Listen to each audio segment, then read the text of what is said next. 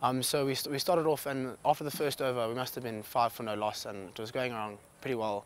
And an opening spell of, of good bowling I saw, so us go to about 12 for five.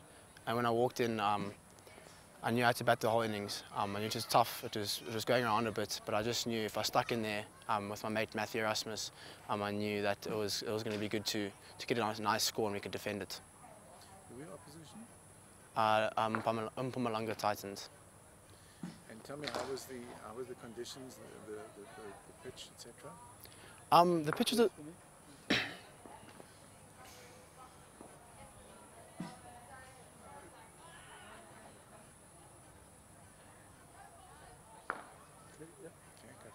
Um, the pitch was a little bit green, but uh, very hard, and with the overcast conditions, um, the ball started to swing around a bit.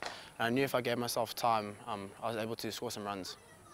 So what was actually going through your head when you first went out there? What, there's a lot playing on your mind, I'm sure. Um, yeah, I was. Our first, my first thought was just see ball, hit ball, um, make sure I get forward um, and watch the ball. And my first instinct was just make sure I, I, I see the, through the first six balls, and then from then on I'll be okay. okay. Tell me a bit, a bit more about your partnerships. Um, I started with Matthew and we, we made sure the first chat was just to get out of the power play and make sure that we could tick it over and, and maybe should go at five, six and runs and over and then build a good partnership. And then towards the end, um, Matty got out and I looked to, to score with uh, Mikey McClubber and we batted nicely towards the end and then managed to capitalise towards the death. And what was your final score?